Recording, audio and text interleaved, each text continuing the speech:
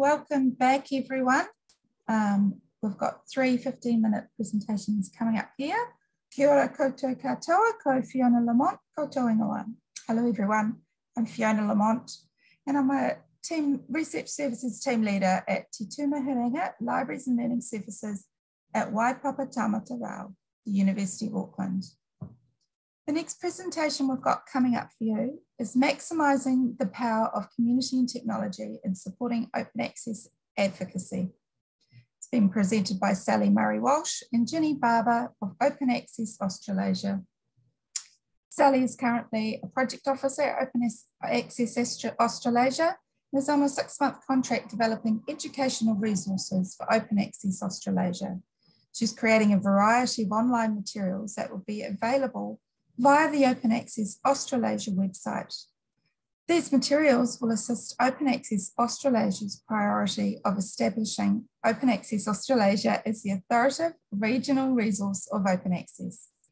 Sally's prior work as a research liaison librarian at the University of Newcastle means she is familiar with the difficulties practitioners face when promoting open access amongst researchers.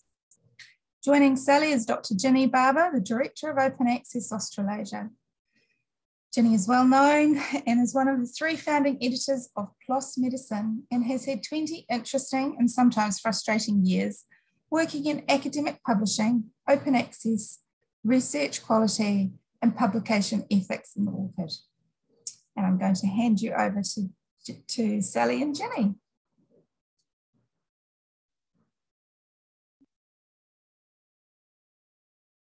Great, thank you very much for that introduction.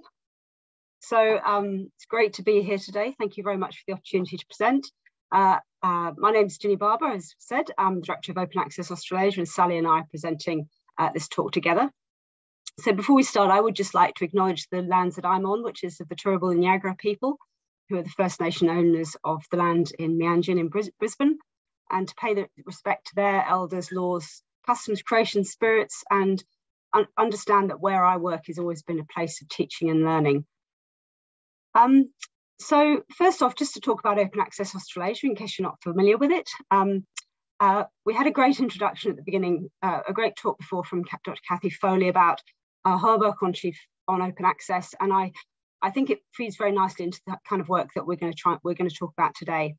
Um, so Open Access Australasia is a diverse um, membership organisation. We've got 28 um, member, member organisations across Australia and New Zealand, 28 universities who support our work financially.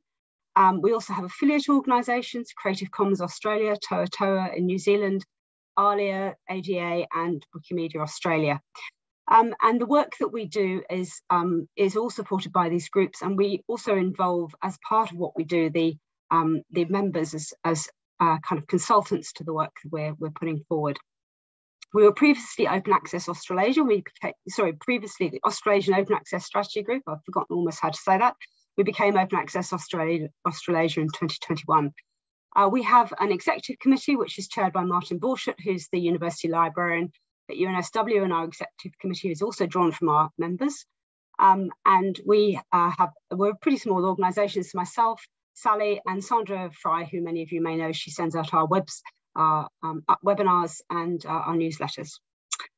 Okay, so next slide. I just wanted to um, touch on the principles that uh, drive our organisation, and these were something that we uh, reaffirmed last year.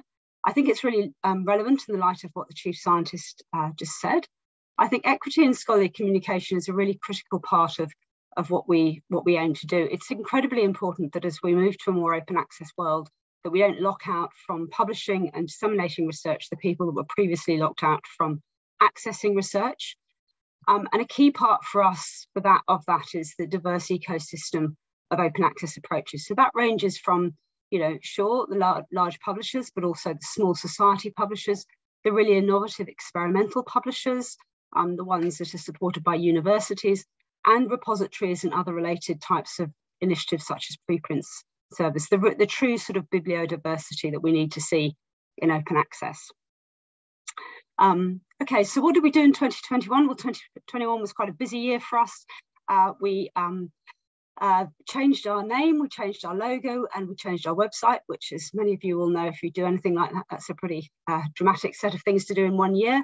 But we now hope that our, our website really does act as a set of uh, resources that anyone can uh, freely use. It includes a set of directories, for example, a list of open initiatives across Australasia, and you're very welcome to have a look at it and contact us if you think that we've got anything that's missing from there.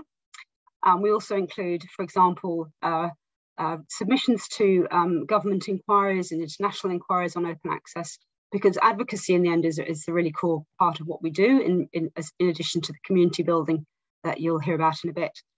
Um, so up here is also a snapshot of some of the things that we did last year. So we ran Open Access Week in collaboration with a group of um, organisers from across the region. We had more than 1,700 people come um, register and more than 1,000 people actually attend the events that we ran in OA Week last year. So it was a huge interest from across the region, which was, was really fascinating.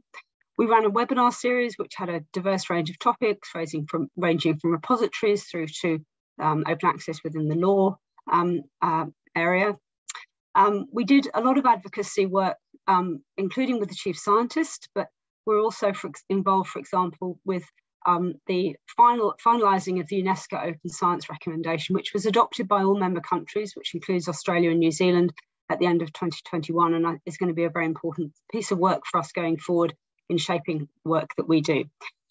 Um, but what we also got was strong indication from our members the need for interactive, adapt adaptable resources. As we know, we can't travel as much as we can, so we can't deliver face-to-face -face webinar, face-to-face -face, um, workshops. Um, so hence the appointment of Sally in the project officer role to develop those resources. And uh, it's really included in enthusiastic participation from our members in development of them. So I'll pass over to Sally um, to do the next part of the talk. Thank you, Ginny.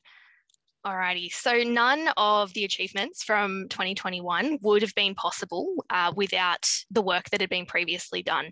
So luckily I jumped into the role in August and was handed uh, an entire amount of uh, materials that had been researched and created by practitioners earlier in the piece, in particular the 2020 practitioners uh, who are listed up on the board there.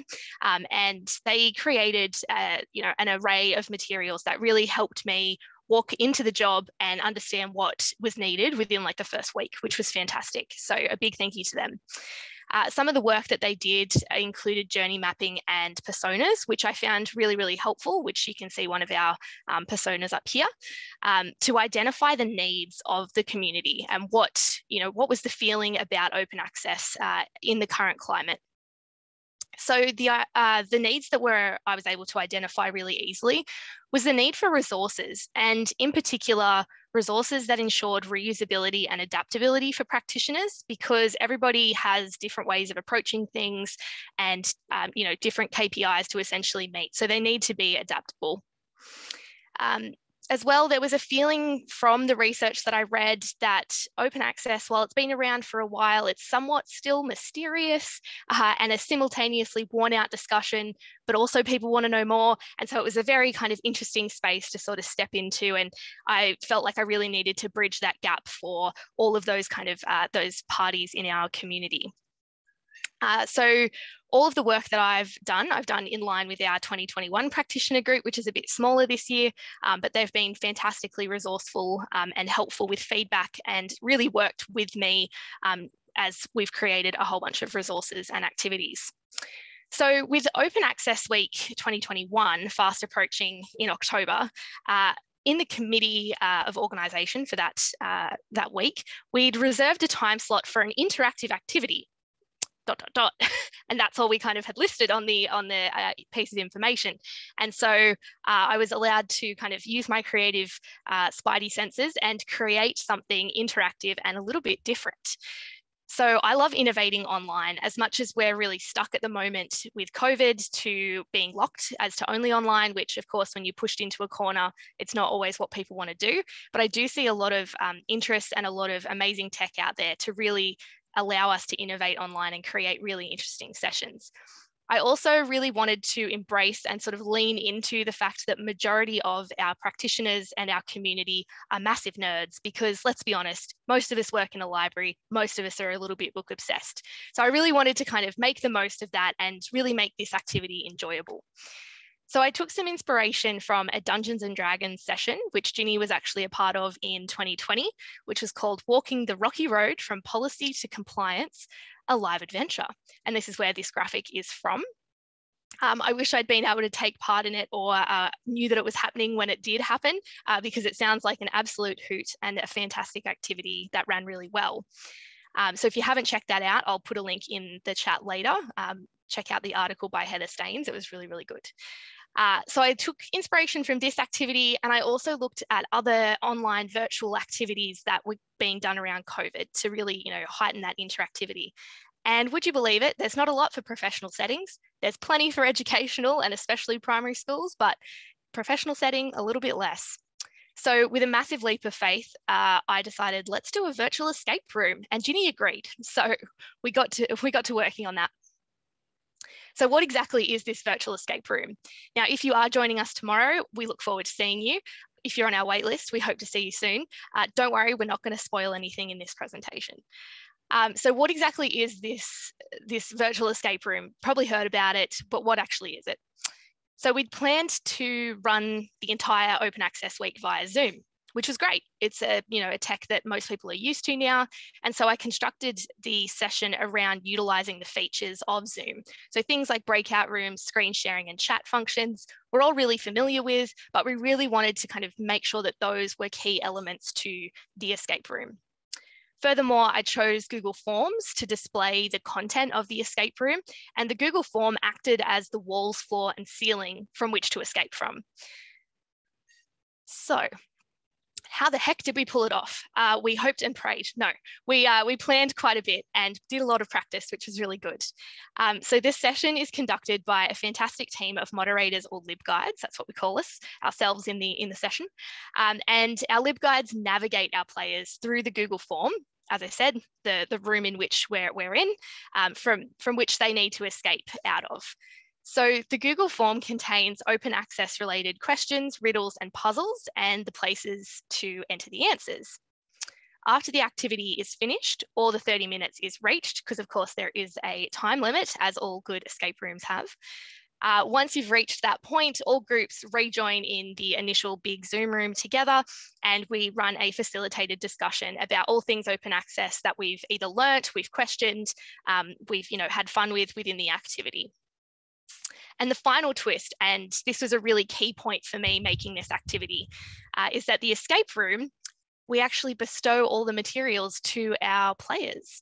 And so then they're able to use and adapt and then run uh, the session with their own um, cohort, their own audience as a form of open access advocacy. And so this to me was a way to answer that we want resources call um, and provide them something quite detailed, but also quite adaptable. So what were some of the lessons that we learnt from this activity? And here's a lovely smiley picture of all of us after the first escape room that we pulled off. We were very excited about it. Um, so firstly, we learnt that uh, our moderators tend to be a little bit competitive, uh, which isn't a bad thing uh, because each of the moderators are really responsible for hosting the room and really gaining that engagement where in a in a physical sense in a virtual uh, sorry in a physical escape room you would have uh, things to interact with to keep the audience engaged. We don't have that as much in this setting, so we need to make that host a really big part of each of the rooms. It's really important to practice the story and the technology to make sure that everything runs smoothly, uh, which is obviously key in any kind of online activity. Uh, and we capped the numbers for our first session because we really had no idea how this was going to be received and how we'd actually go about running the session and if it would be successful. Uh, but we found that capping the numbers is actually a really key part of the session because it provides a smaller and more in a more personalized experience for our players. So we cap the numbers between about five and seven people per room. And that means that the host is then able to really engage with each of the, the players um, and make sure that they're you know, having a good time and enjoying the session. And lastly, most importantly, and I'm sure we all know this, check your clues and your links because things do change on the internet. And so we have had to make a few last minute adjustments, um, but way better having a last minute adjustment than something not work in the session. So what is next for our community? Uh, well, some big things, more big things. Uh, so currently I'm finalizing the open access course, Open Access 101. It's a combination of self-paced learning, community forums via Slack, and self-evaluation. It's a professional development course that will only be available currently to members of Open Access Australasia. Within the course, there's resources that have been created, all resources have been created with a CC BY license, which then allows our practitioners to distribute, adapt and reuse as they see fit. The course aims to ensure a level playing field for all our open access practitioners, no matter how seasoned they are. But we're also providing them with these adaptable resources for their own open access advocacy. And with that, I will hand back to Ginny. Thanks very much, Sally. Uh, you can see we've had a lot of fun with doing this stuff. Um, I just so as well as the of stuff, the, what really is the core of what we do is our community, and we're very proud of the way that we've been able to convene and support an open access community in this region. There's lots of ways you can get involved with it. So you can sign up for our newsletter. Uh, you can follow us on social media. Um, we have a monthly community of practice, practice in Australia, um, and we, we join the New Zealand community of practice, which is uh, completely awesome. Um, we also um, would absolutely support if you're not a member of our organisation, you'd like to be, we'd love to have a conversation with you. So please have a look at our website and, and get in touch. Um, I'm very happy to have any questions. Wow, thanks, Sally and Ginny. That was such a great explanation of that. I did wonder what that was. I'm so mad I missed it last year at Open Access Week 2021. Um, so the website, the new website is great. So I highly recommend people to check it out. Uh, and I'm just looking at the Padlet for questions and there's no questions there at this point. Does anybody want to post something in chat? Um, lots of positive feedback on the escape room, Sally. Thanks for your work, Sally. Escape room great. when we participated last year. That's fantastic to hear. We um we loved running it and hopefully we'll be running it a few more times and and I hear there is quite a big wait list. So hopefully we'll we'll get to everybody there um, and they'll they'll get to experience it and then take it and uh, deliver it themselves as well, which is all part of it. Oh, that's really great. We'll post all the links actually either in the chat and we can put them in the Padlet as well. So feel free to explore those. That would be really great. Thanks so much. Okay, guys, don't forget you can put your questions, you can still put your questions into the Padlet because um, Sally and Ginny will be looking at it. Oh, here we go. Do you have a date when your next session might run? Well, it's actually tomorrow. I can tell you. but there's a wait list for this this one. So you can still sign up for that and be put on a wait list for when the next session comes in. Um, one thing I one thing I'll just say for that is we're very keen for people to adapt and use these, and we you know we're kind kind of aware that without giving too much away, um, there's sort of perhaps slightly more an Australian than New Zealand focus to this. So anyone who wants to adapt it for you know a more local use would love to see them doing that. So please feel free to, once you've done that to to jump in and adapt it in any way you think. I definitely think that'll be happening. yeah, for sure. And, and we're not, about this. Yeah. We're, we're not uh we're not handing it and and saying we'll never talk to you about it again as well. Uh, we're we're more than happy to to chat to you if you guys are curious or you, you get stuck or you're trying to do something and you're not sure it's possible. Um, you can always reach back out to us. We're more than happy to to chat with you about the escape room. Yeah, totally. That's great. Okay. Well.